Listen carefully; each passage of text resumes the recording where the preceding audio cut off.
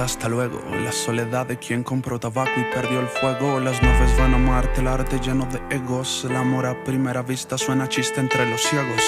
Los juegos de mesa que acaban en la cama. El sol insoportable y uno en llamas. Las calles que amas y los rostros que jamás vas a olvidar. Los amigos que te encuentras por casualidad en el mar. Los aún no llego, pero casi.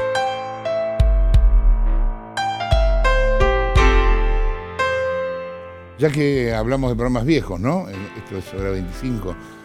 Hace más tiempo todavía. En realidad fue el primer programa de televisión que yo hice. Hicimos un programa, un ciclo que nunca llegó a terminarse en Match Music. ¿Te acordás de Match, el, canal musical? El programa se llamaba Viaje al fin de la noche, como la novela de Celine. Y mirá vos qué delirio, porque muchos años antes de los reality shows, era, el programa era la historia de un tipo que le vendía la vida a la televisión y tenía todo el tiempo a la televisión siguiéndolo. Lo hacíamos a la noche, al fin de la noche, sin producción, sabíamos dónde empezábamos, pero nos dejábamos llevar por lo que pasara. Y eh, de golpe podíamos, no sé, hicimos un programa en el zoológico a la noche. Hicimos otro en el cementerio. Eh, bueno, hicimos mucho. Hicimos, un día me senté en San Telmo en un umbral y tenía de cada lado un chorro. Y nos pusimos a hablar con los chorros que no me afanaron ni nada, los tipos bastante educados. Viaje al fin de la noche. Viaje al fin de la noche, un día nos llevó a la Federación de Box. Es público que yo no conozco nada de deportes, que conozco realmente muy poco, pero hay un deporte que me gusta y que soy capaz de ver entero, y es el boxeo. A mí, sonará raro esto, pero me parece el boxeo el, eh, eh, deporte más romántico de todos. Porque es donde la desnudez es total, o sea, hay uno enfrente de otro. Y no hay otra historia posible. Uno de los dos tiene que ganar. Grabando para, el, para Viaje al fin de la noche en la Federación de Box, ves cómo las familias llegan, cómo se juntan, vienen de golpe de cualquier lugar del interior, pasan la noche anterior en una pensión, consagraron todo ese mes a ese día, a esa noche. Y están todos ahí, 20, 30 personas, nenes, grandes, viejos, medianos, vitoreando al que, va a ganar o al que va a perder. Es muy emocionante verlo. A los dos, al que gana y al que pierde. Ahí en el, en el ring de la Federación de Box eh, leí para ese programa Torito. Si no lo leíste te lo recomiendo. Eh, Torito es la historia de Julio Suárez, de Justo Suárez un boxeador mítico de los años 30, escrita por Cortázar, y relatado como si él fuera un boxeador. Es un gran, gran cuento. Pero bueno, me quedó eso en el, en el boxeo. Y eso es un poco lo que vas a ver ahora, porque vas a ver a una chica, a la cobrita, Andrea Sánchez, que tiene como objetivo en la vida ser cinturón del mundo, campeona en su categoría hace un montón de tiempo que pelea, entrena todo el año y a lo mejor pelea una vez por año o dos. Y le prometió a su papá, que también era boxeador y obrero, que le iba a regalar el cinturón. Mira.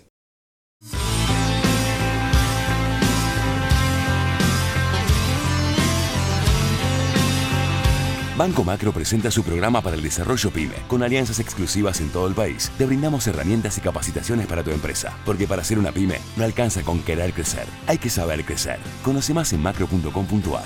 Macro, cerca siempre.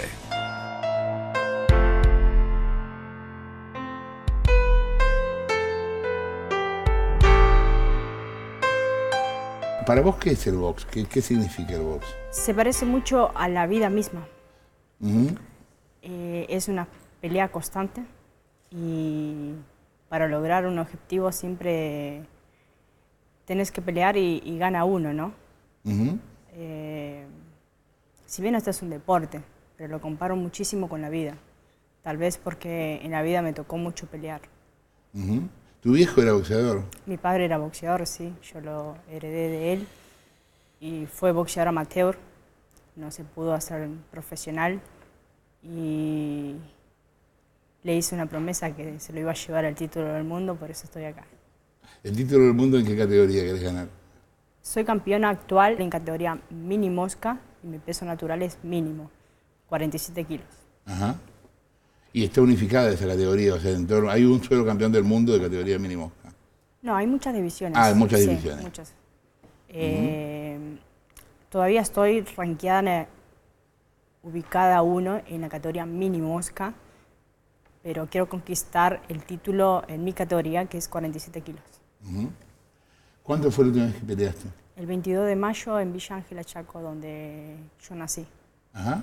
donde por cierto perdí el mundial eh, enfrentando a Guadalupe Bautista de México. De ¿Te tocó perder el mundial en ese lugar, ahí Sí. en tu casa? Pero bueno, a veces eh, no, no sé, qué- no voy a decir que me jugaron las emociones ni nada, porque uno se prepara para eso, ¿no? Pero ¿Cuánto tiempo entrenaste, por ejemplo, antes de esa parte, de, ese- de esa pelea?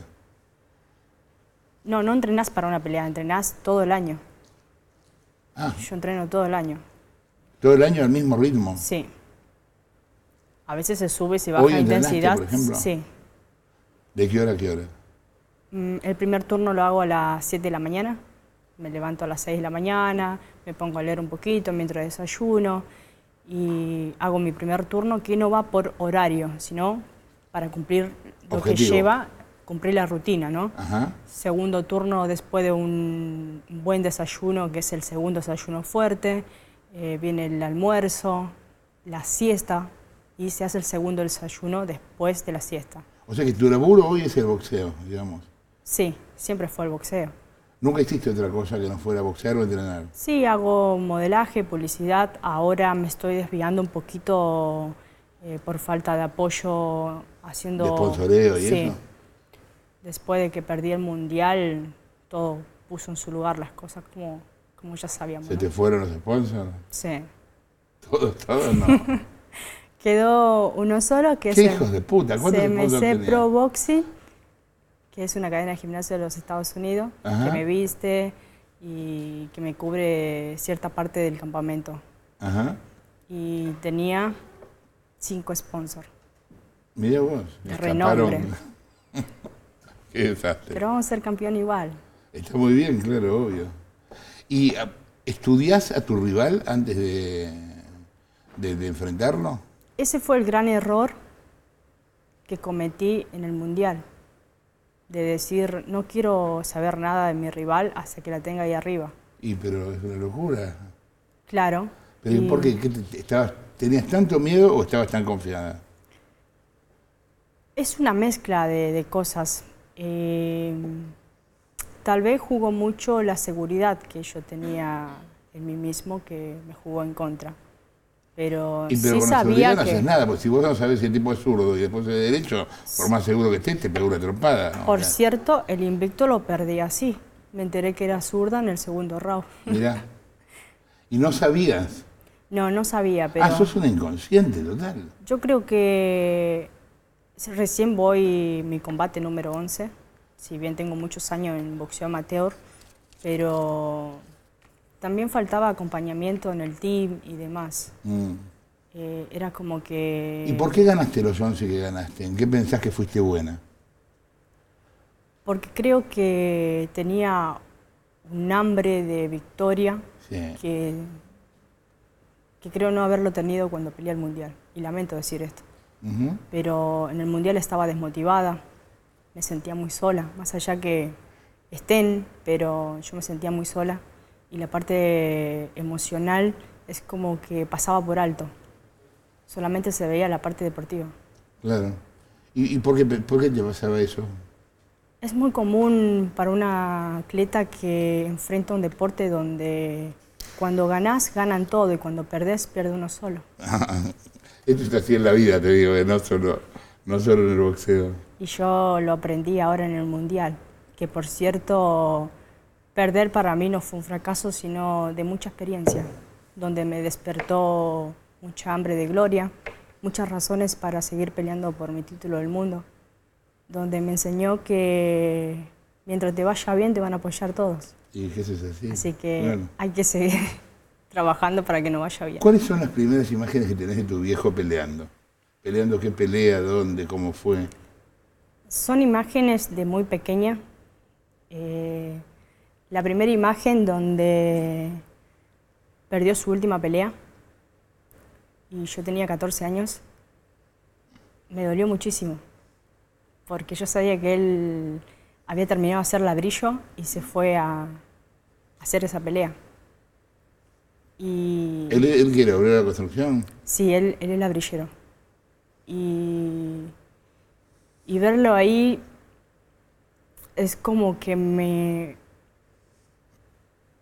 Sufrí muchas emociones en el cual dije, voy a ir a pelear por ese sueño porque papá ya no lo puede.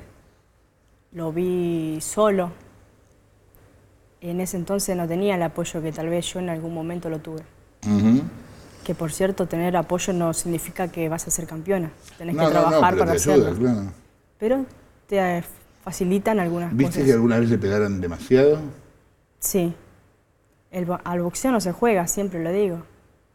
He visto boxeadores que acumularon golpes, que bajaron mal. Por eso hay que ser consciente y hay que entrenar y tomarlo como, como, un profesional y, justamente a veces me dice, ¿por qué entrenas tanto? Porque no quiero pasar por eso arriba del ring. Todos, todos los deportes tienen su riesgo. Un rugby te lesiona, un fútbol te lesiona, pero estamos hablando del boxeo que Conozco muchos accidentes que terminan, un golpe te cambia por completo la vida. Y para eso hay que entrenarse. No significa que no sufra el accidente, pero no hay que provocarlo, ¿no? Mm. ¿Y, cómo es el rincón? ¿Cómo, ¿Quiénes te hablan alrededor cuando estás ahí? Puedes tener un equipo que esté compuesto por todos los profesionales que te ayudan a, a llegar a punto, por así el lenguaje que hablamos los boxeadores, pero escuchamos una sola voz de mando, que es muy importante tener una voz de mando. ¿Qué es tu entrenador? Que es el entrenador. Después no escuchas más nada. Eh, hasta el título del mundo llegué con Julio García, que es director técnico de la selección argentina de amateur todavía. ¿Y después lo cambiaste? No lo cambié, pero queda una charla pendiente que, que este, esta próxima pelea quiero estar con personas que saquen lo mejor de mí, que, que tengan el mismo hambre que yo de ser campeón del mundo. Y, nada más, creo que hay una falta de comunicación que, que no lo hubo en el Mundial. Vos, eh, eh, eh, tu rival ¿Qué, sentimientos tenés ante tu rival? ¿Lo odias, no lo odias? ¿Te da igual? ¿No te importa? Ahí sabemos que tenemos que ganar, porque las dos hacemos el mismo sacrificio. ¿Lo vivís como algo personal o, no, no es personal? No, que por cierto, después del Mundial yo despedí a mi rival del aeropuerto, donde ella me dejó un mensaje muy importante que me sirvió de mucha enseñanza, que me dijo es muy importante tener no las 500 personas que yo tenía atrás, sino eh, la persona ideal, la que tenga el mismo hombre que tú y saque lo mejor de vos. Ese es un gran mensaje que me dejó ella. Mm. Eh, somos rival ahí, sabemos que ahí... Pero de última es igual a vos y está del otro lado. Hace el mismo sacrificio que yo, quiere ganar igual o sea, respetás al rival. Ahí arriba no, pero en la vida sí. No, pero podés respetarlo boxeando bien, o sea, no... Sí, sí, esto es un deporte, sabemos que arriba eh, el boxeo es uno solo, es una estrategia de pegar y no dejarse pegar. Mm. pero no creo en... jamás me pasó de que porque me ganó lo tomé personal. Claro. Ni porque en algún momento eh, boxeamos lo tomé personal. Nunca me pasó, por cierto, hablo con la mayoría de mis rivales. ¿Cuándo te pegaron mucho, mucho que te dolió mal? Cuando bajé del ring, aunque no creas. ¿Por qué? Porque mm, era, perdió la cobrita. Era, wow, perdió y nadie se preguntaba qué me pasaba, qué sentía. No me dolió la pelea. Mm.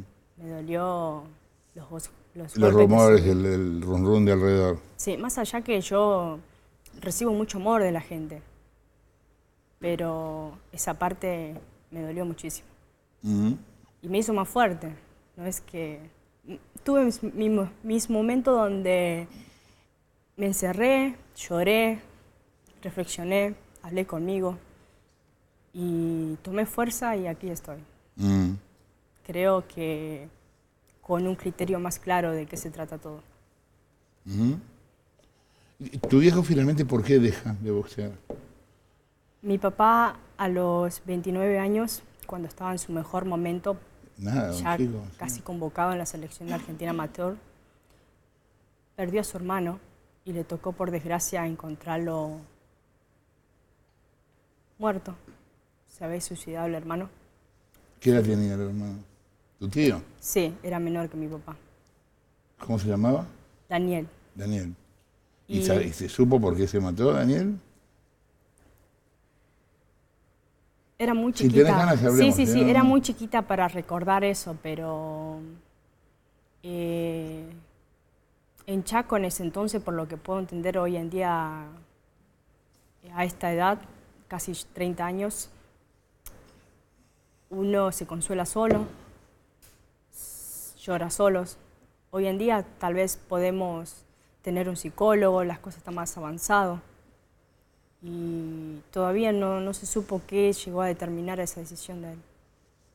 Él Pero- tenía adentro una tormenta que apagó así. No dejó ni siquiera una carta. Mira vos. Y eso creo que fue más doloroso para toda la familia, Claro. de no poder entender por qué. Porque aparte dejó un niño, Ah, tenía un hijito. sí, y ¿Qué ahora tiene cuánto? 19 años. Ah, ya es un chico grande. Ya es un chiquito grande. Y eso le costó mucho superar a mi papá. Aparte las preguntas de que por qué, Bueno, ¿cierto? es lo que te pasa cuando alguien se mata, ¿viste? Le llevó, A veces dejan un mensaje, a veces no. claro, Y lo que te angustia es averiguar por qué. quiso volver después de estar inactivo a los dos años. Tu viejo. Sí, Y no pudo. ya no pudo. Ya le faltaba motivación, no contaba con un equipo profesional ni con un apoyo.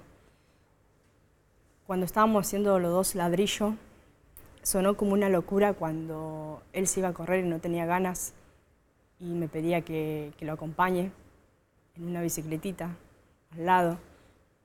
Y yo le digo, papá, yo quiero ser boxeador y traer el título al mundo porque era mi sueño. ¿Mm? Eh, él era una cosa que yo admiraba, no solo como boxeador, sino como hombre, como padre. Siempre estuvo presente y es un padre de siete hijos, somos siete, seis mujeres, un varón. La educación que, que nos dio es, es admirable. Y nunca te dijo él no boxees. Sí, yo iba ya a la secundaria cuando me escapaba, por así decir, que hoy en día no sé cómo lo llaman los chicos, ratear Sí, te- o te- te escapar. ¿no es rateabas, cierto? sí, sí. Y me iba a entrenar boxeo con el mismo técnico formador de él, ¿no? Ah, mira. Y en un momento me dice, ¿tu papá sabe, me dice el técnico de él, que estás entrenando boxeo? Y yo quedaba en apriete, sí. Y no Eh, sabía nada. No sabía nada, hasta que me di cuenta que los rumores iban creciendo de que yo estaba entrenando boxeo. Entonces le pedí ayuda a mi abuela. Mi mamá sospechaba siempre, pero ella se pensó que era un caprichito, porque cuando me revisó la mochila del colegio yo tenía la venda que le había sacado mi papá de boxeo. Tenía la bendita de él, que se usan para las manos, y le pedí a mi abuela que me ayude porque llegó el día de debutar amateur en un pueblo vecino. Mi ¿Y abuela, fuiste con tu abuela? sí, mi abuela le dijo a mis padres que esa noche ella se sentía mal, Qué divina tu abuela. que mirá. necesitaba. Mi abuela me malcrió mucho, me acompañó una muy buena amiga, como todas abuelas, creo. Y, y fue, le dijo a mis padres que necesitaba que yo la cuide porque ella no estaba bien. y nos fuimos. ¿Se fueron vos y tu abuela a pelear a qué pueblo? Sí, un pueblito que estaba a 200 kilómetros de mi ciudad. ¿Y cómo te fue? cuando llegué allá, eh, llegó la hora de subir al ring. Para mí era todo algo... Pareciera que hice boxeo toda mi vida porque vi a mi papá, a mis tíos, primos, siempre arriba del ring. Y cuando Pero no habías peleado nunca una pelea entera. Nunca. Que por cierto había peleado con una chica más experimentada, más pesada, porque yo siempre fui de pesos chiquitos. Y cuando subí al, arriba, la, ahí la gente y dos amigos del boxeo de Villa Ángela me pusieron la cobrita. ¿Y porque por qué mi papá es la cobra. Ah, ok. Pero eligió la gente la cobrita. ¿Está bien? nunca más cambié y bueno. ¿Y esa pelea cómo te fue, cobrita? Creo que me habían regalado un empate. Empate, ah, mira. Corrí toda la noche. empate que por puntos, ¿no? Claro. Empate, salimos las dos igual. las dos iguales. Sí, sí, sí. Pero después cuando bajé, le confesé al director técnico que mi papá no sabía. Cuando vos decís yo quiero ser campeona del mundo, no es por plata. No, porque si fuera por plata no, no estaría boxeando. Claro. ¿Cuánto, ¿Cuánto podés ganar como boxeadora? El título del mundo, en mi casa, gané 60 mil pesos. Claro. Claro, no es... Eh, y de sponsor nada. Claro, pero vos cuando tuvieras sponsor ganarías guita como para tener algo de plata, pero nada más, no, no te arregla la vida ni mucho menos. No, ni siquiera me cubre el campamento donde yo invierto. Cuando llamo campamento, llamo la concentración que eh, nos lleva a prepararnos para, para, este, porque entrenamos todo el año, pero hay un momento donde nos concentramos ahí, dejamos todo de lado, eh, trabajos y todo, y nos concentramos en una pelea, porque esto requiere de, toda, de todo tu tiempo. Mm. Pero hoy en día, como están las cosas, no cubrís. Y yo pago todo, kinesiología, eh, recuperación, todo. Sí, sí, Hasta las vitaminas. Eh, ¿Nunca tuviste el miedo, viste que existe ese miedo en el boxeo de que te puedan pegar y quedar mal? Sí. ¿Tuviste ese miedo alguna vez? El miedo está siempre presente, hasta incluso cuando... Quedar mal de la cabeza o quedar, o, bueno, eventualmente morirte, qué sé yo. Yo soy muy consciente de que un golpe me puede cambiar la vida. Yo soy muy consciente de eso. Y el miedo está siempre presente. Eh, de la pelea número uno de aquel entonces cuando tenía 14 años y subí al ring. Siempre fui consciente de eso. Solamente que uno se prepara como, como todo. Si vas a rendir un examen, tienes que estudiar para salir bien. Y esto es igual, no significa que es garantía de que salga bien. ¿Te cuesta la disciplina del entrenamiento? ¿O ya no, a esta altura no? No, ni siquiera me desmotivó la falta de apoyo. Es, es muy claro mi objetivo. Y aunque no crea y suene raro, perder el mundial me sirvió de mucho. Sí, claro. sí. Me dejó muchísima experiencia. Y Perdiendo se aprende, igual que ganando. En las dos situaciones aprendes, digamos. Tomar la experiencia que te deja. Claro. Y sí, tuve mis momentos donde estuve bajoneada, donde me costó arrancar, pero la disciplina siempre, ya es, mi, ya es mi estilo de vida. Creo que el día de mañana que deje el boxeo voy a seguir entrenando. Tenés también el tema del tiempo encima. ¿Cuánto tiempo más podés boxear? ¿Cuántos años más podés boxear? Eso va según las metas que tiene cada persona. Yo tengo otras metas que los tengo ahora a medida que voy creciendo ya voy a cumplir 30 años, repito, el 29 de noviembre, y me quedó muy claro que con el boxeo no se vive. Sí, te abres puertas, te acerca a las personas, como a mí me acerca al público, me permite hacer otras cosas, como promocionarme eh, como modelo, promocionar. Hoy en día debuté la semana pasada con un programa radial Ah, mira. Junto a mi compañero Marcelo Ruiz, que es un personaje de Peligro sin codificar, donde también colaboran los chicos conmigo de Peligro sin codificar, que me da todas esas posibilidades el boxeo. Solamente hay que saber aprovechar el momento y, y tener muy claro las metas. estoy trabajando en otros proyectos como sacar mi, mi propia línea de ropa.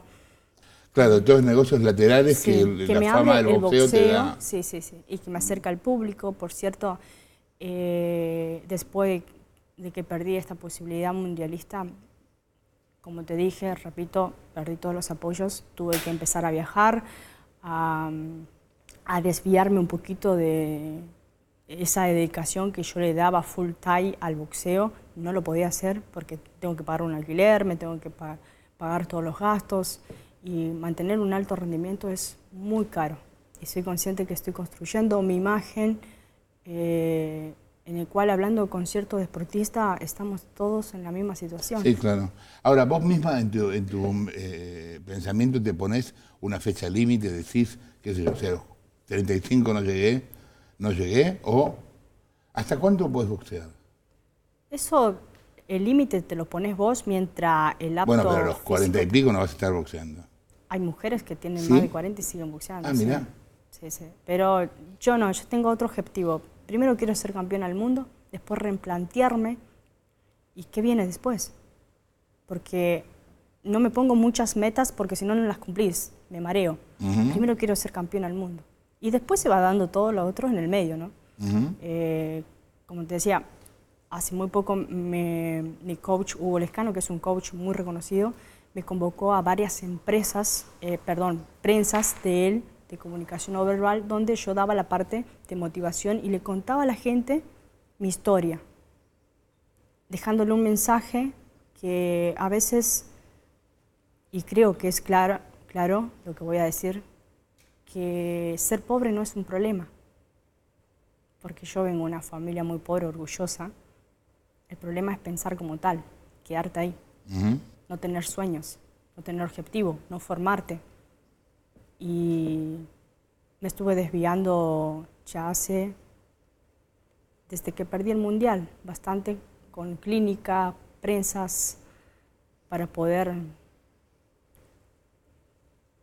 cubrir mi alto rendimiento, que es muy caro. Cuando estás ahí en el medio del ring, ¿en quién pensás? Primero, ante nada, en todo lo que yo paso para llegar ahí, porque no es un camino fácil no creo en la suerte. Yo creo que hay que trabajar muchísimo para merecer eso. Creo en el karma. Creo que uno cosecha en el? karma. Creo que uno cosecha lo que siembra. Sí. Pero ahí arriba uno se enfoca, primer objetivo es no ganar. Pasan muchas cosas por la cabeza, muchísimas. Por ejemplo, en el Mundial yo me había cansado en el round número 7, mis piernas no me daban más, no tenía aire, estaba frustrada y por dentro decía, no te vas a vencer. Vamos, Andrea, yo me motivaba. Claro. Vamos. Vos que es más importante la cabeza que el cuerpo en esos momentos. A mí me cuentan que, por ejemplo, es muy común la historia entre los runners, que hay un, eh, los tipos que corren 42, hay un momento a los 30 que ellos llaman la pared. Sí. No hay una pared. Pero si pasás los 30, seguís hasta los 42. Es verdad. Y si dudaste, dejas ahí. Ahora vos mirá la diferencia, ¿no? Porque el tipo viene corriendo y le falta un montón. Pero si el tipo decide seguir, no importa cómo esté el cuerpo, el cuerpo va a obedecer a la cabeza. Es muy importante tener el, acompañamiento de los psicólogos deportivos. Mm que hoy en día no todos los chicos tienen la oportunidad de tener ese acompañamiento. Pero es muy importante ser fuerte de la cabeza un 70%. Claro. Después físico y después técnico. Pero donde dudaste, cambió mucho el resultado. y, y, creo que fue lo, lo que me pasó en el Mundial, que en algún momento dudé llegar al round número 10.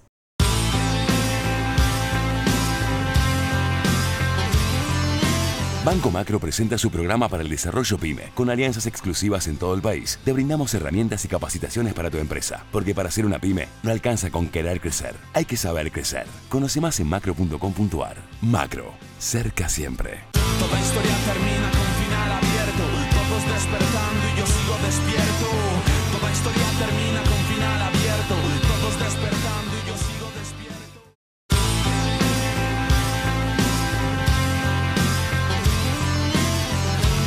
Banco Macro presenta su programa para el desarrollo PYME, con alianzas exclusivas en todo el país. Te brindamos herramientas y capacitaciones para tu empresa, porque para ser una PYME no alcanza con querer crecer, hay que saber crecer. Conoce más en macro.com.ar. Macro, cerca siempre.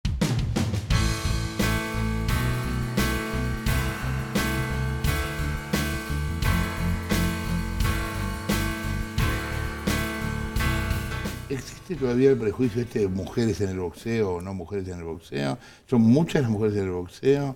¿Hay cantidades más o menos similares? Hoy en día, si no me equivoco, hay 24 campeonas del mundo. Es la cuna del boxeo femenino aquí en Argentina, donde más campeonas del mundo hay. Yo nunca sufrí ni padecí esa diferencia de decir eh, no al boxeo femenino. Yo nunca lo padecí. Siempre mis compañeros me respetaron. Fue una, entrené con ellos, entrené la misma cantidad que ellos, las mismas horas, los mismos turnos. Creo que tiene mucho que ver cómo vos te manejas en la vida también. Si te manejas con respeto, creo que te van a respetar. ¿Y, y tu vida personal pudiste acomodarla con la vida deportiva? O sea, sé yo, tenés novio, vas a casarte, tenés chicos, querés tener. Sí, es muy importante tener el acompañamiento, ¿no es cierto?, de la persona que está al lado. Eh, igualmente, si tenés los objetivos claros, es muy importante también no desviarte, donde algo de eso influya y te quite concentración y demás, es como todo. Si no te O sea, no- tu vida personal no es tu objetivo primordial hoy. Mi vida per- personal es muy importante, pero No es lo más importante. es importante. ¿Es lo más importante? Es importante.